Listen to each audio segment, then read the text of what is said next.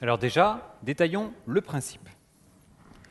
La première chose à savoir, les notifications push, ça utilise le mécanisme standard de Google et d'Apple. Donc ce sont les serveurs de Google et d'Apple qui envoient les notifications push. L'application mobile s'enregistre auprès des serveurs de Google ou d'Apple pour indiquer qu'elle accepte de recevoir des notifications push. Et en retour, le serveur envoie un identifiant à l'application. Et c'est cet identifiant qui sera utilisé pour lui envoyer des notifications push. Alors les serveurs de Google ou d'Apple, ils ne peuvent pas décider pour vous à qui envoyer les notifications. Bah, par exemple, si les notifications sont personnalisées, vous ne voulez pas les envoyer à tout le monde. Donc ça, c'est à votre application de le gérer. Pour ça, l'application mobile doit envoyer son identifiant à l'application qui gère le push. Bien sûr, tout ça, c'est automatique. L'utilisateur n'a rien à faire. Alors là, ça y est, c'est bon. L'application mobile, elle est prête à recevoir des notifications push. Et maintenant, comment on fait pour envoyer une notification? Ou un million de notifications. Pour envoyer une notification, Ou un million de notifications. l'application Windev remplit une variable de type notification avec le contenu de la notification. Elle choisit les terminaux à qui elle veut envoyer la notification et elle donne le tout au serveur de Google ou d'Apple. Donc ça, ça se fait avec la fonction wlangage notif push envoi. Donc je vous rappelle, vous retrouverez un exemple détaillé dans le support de cours. hein. Ok, donc ça c'était la théorie. Maintenant, au niveau programmation, comment ça se passe exactement? Alors pour s'enregistrer auprès des serveurs de Google ou d'Apple, ça se fait avec la nouvelle fonction WLangage, notif push active.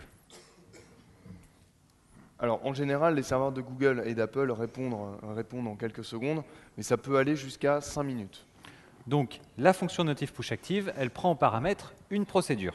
Quand l'inscription est terminée, le WLangage rappelle automatiquement cette procédure. Alors à savoir, sous iOS, vous pouvez choisir le type de notification que l'application accepte. Donc soit les pastilles, soit les sons, soit des alertes, ou alors tout en même temps. Allez, maintenant, voyons la procédure qui est rappelée automatiquement quand le serveur a terminé l'inscription. Cette procédure, elle reçoit en paramètre l'identifiant de l'application. Ok, donc la première étape, l'enregistrement de l'application, c'est bon. Là, l'application mobile, elle vient donc d'obtenir un identifiant. Elle doit maintenant l'envoyer à l'application Windev qui gère les notifications. Ici, pour faire le lien entre l'appli mobile et l'appli Windev, on a utilisé un web service. Alors ce web service, il est livré en standard avec Windows Mobile 19 et vous le retrouverez également sur le DVD. Et maintenant, comment je gère la réception de la notification dans mon application Windev Mobile? Alors ça, c'est facile. Juste après l'inscription aux notifications, donc on a fait avec notif push active, j'appelle la fonction wlangage notif push procédure. Et je lui donne un paramètre, la procédure à appeler lors de la réception d'une notification. Ici, dans cette procédure, j'ouvre la fenêtre de visualisation d'un article avec en paramètre le numéro de l'article. Ce numéro, je l'ai reçu dans la notification. Alors sous iOS, quand vous recevez une notification, vous avez une nouvelle fonction WLangage en version 19 qui vous permet d'afficher un petit badge sur l'icône euh, sur l'icône de l'application, sur le, sur le bureau. Alors cette fonction, voilà, vous la voyez ici, c'est la fonction 6 icône badge. Alors ici dans notre application, en l'occurrence, elle me sert à afficher le nombre d'articles en attente de lecture.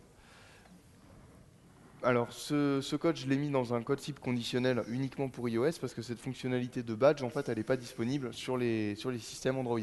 Du coup, pour, euh, pour ne- n'exécuter cette, euh, cette fonction que sous iOS, j'ai utilisé le code type conditionnel. Et voilà comment gérer des notifications push dans vos applications? Avec Windev Mobile 19, vous intégrez le push dans vos applications mobiles en quelques minutes. Vous l'avez vu, c'est vraiment très facile.